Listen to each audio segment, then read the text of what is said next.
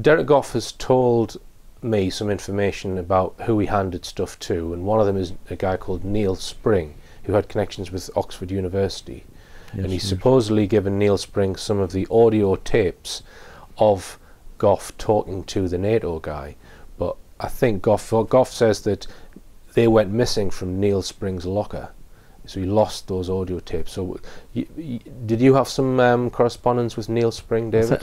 I, I'm assuming Neil Spring lives in South Wales, close to Derek Goff, Right. or to sorry David Coggins, because I, I, wa- I, I wasn't sure how they got to know each other. Right. Anyway, I think it's because he lives in South Wales and close by. Uh, yeah. So Oxford University had year or two ago formed a new UFO group, um, and they had speakers and talks, and they invited Graham Birdsall to come and speak, who was the past editor of the Quest International UFO magazine and director of Quest International. And at some point in the proceedings, uh, Neil Spring apparently took Graham to one side and said, whispered something to him like, you know, I think you ought to know about this. Mhm. So he was acquainting Graham of his knowledge from those audio tapes, thinking Graham might do something with it. Uh, and I think at that time, when he got back to Yorkshire, to Leeds, uh, Tony Dodd had actually left and resigned his position with Quest International. So he thought, I would be the, per- the appropriate person to pass this message on and a phone number. Um, so I uh, I did ring him, uh, and with the hope that he would uh, furnish me with a copy of these tapes. And uh, he referred to this th- third person, which is obviously this army chap that you've identified, and said it's more than his life's worth to pass them over, Right. which is a bit strange when he's already had them and David Coggins has already had access to them. He wouldn't give me the contact number of this military guy, Right. or, or or even David Coggins, because he didn't know that I didn't know David Coggins at the time, which I didn't. And So I think you and I are both of the same mindset that we're not we don't make a judgment as to the true motives or the reasons behind this. We're, we're looking at the evidence. All right. Right. Now, yes, the knee-jerk response is whoever's doing this is an absolute evil thing, which it, it appears to be on the surface. This it's it's not benevolent in any way. Now, there's a quite a large school of thought in this field of ufology, which is that no non-human intelligence would ever harm another uh, intelligence, shall we say? Yes. So there's they're all benevolent, in other words, and Mm. this is um, put forward by people such as um, Dolores Cannon and Stephen Greer. Stephen Greer, Stephen. Greer is also of that same mindset. yeah, Now, I don't make a judgment as to why they're doing this Mm. and what the ultimate reason is. But they, but, but Greer in particular has been making noises recently about the reasons for this. Just tell us a bit about that, David. yes. So he's issued a, a, a paper. It was issued on um, 31st of August, so very recently. Mhm. Um, I haven't read the whole paper. I've only read the extracts, which has been circulating around in the last week on Mhm. the internet.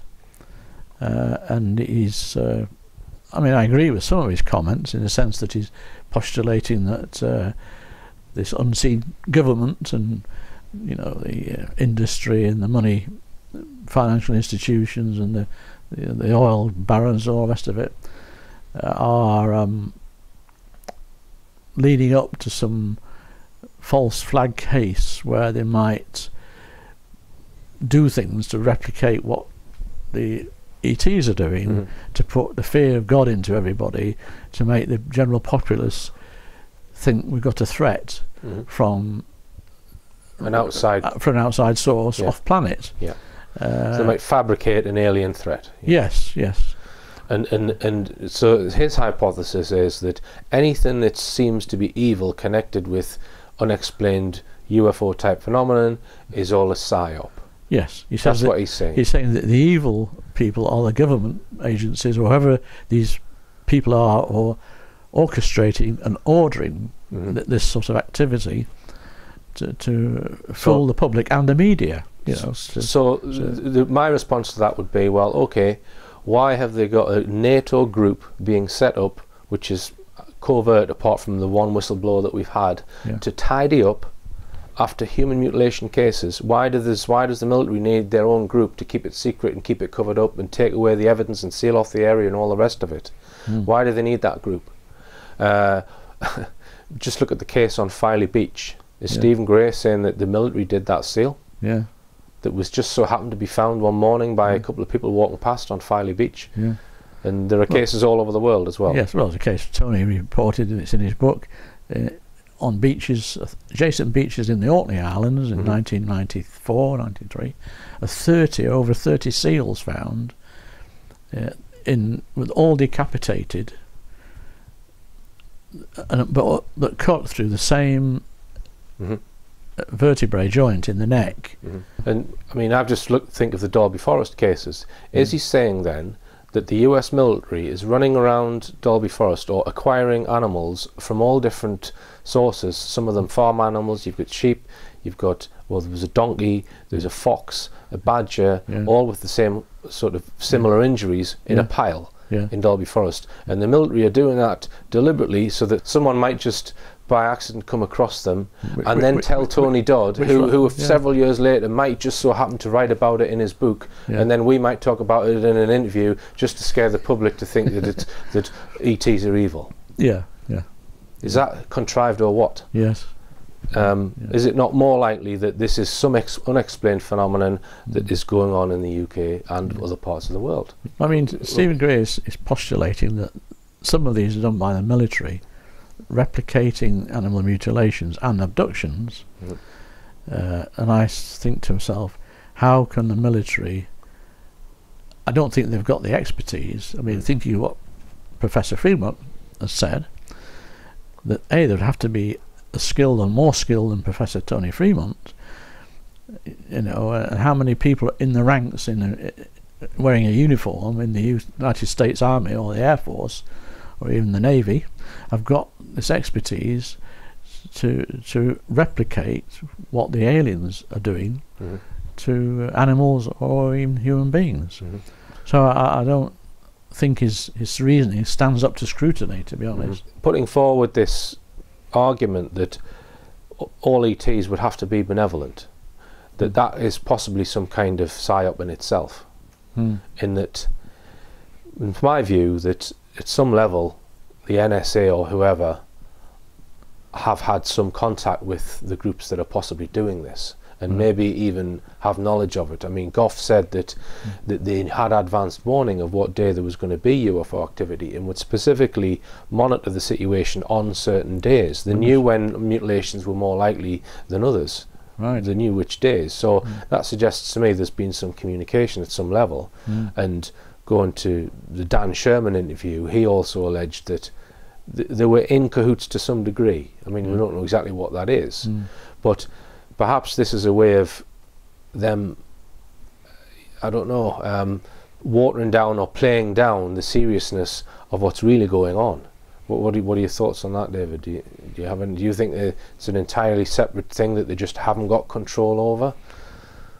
It's possible. Uh, I think maybe some historical deals have been struck Mhm. with maybe one group of aliens. I mean, what we all keep forgetting, including me, there's not just one alien species out there visiting Earth.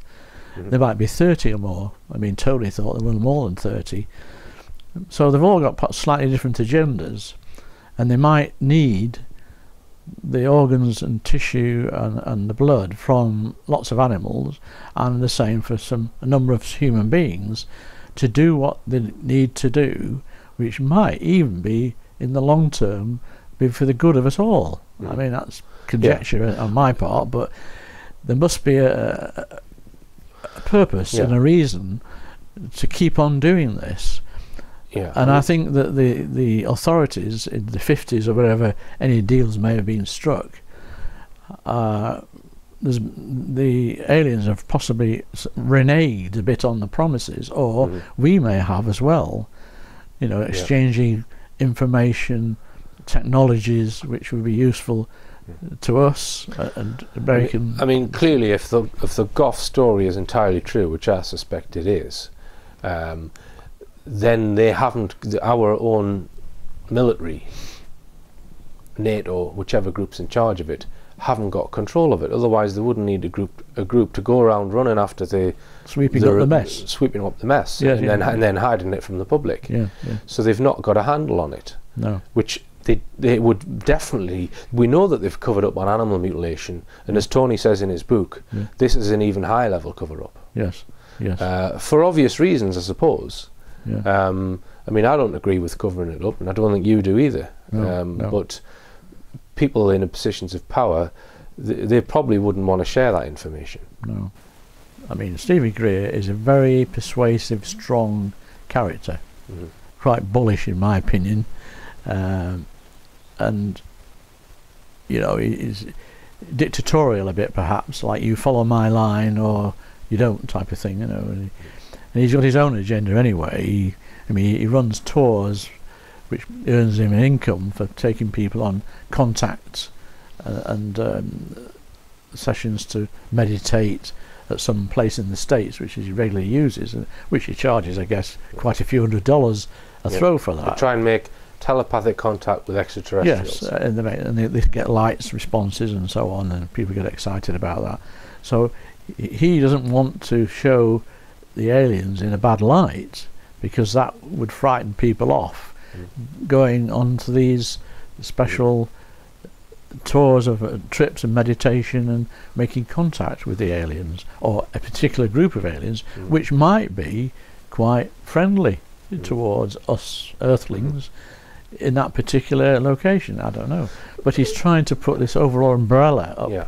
that I- they're all not here to do us any harm, and they're all here for our benefit. And it may be that for our benefit, they have to take so many animals and all this uh, blood and um, guts, if you like, even from human beings, t- to something to do with preserving our planet and us as a human being, the human race, in the future. Mhm. So it might be sacrifices, you, people might say, have to be made for the good of the rest of us. Yeah.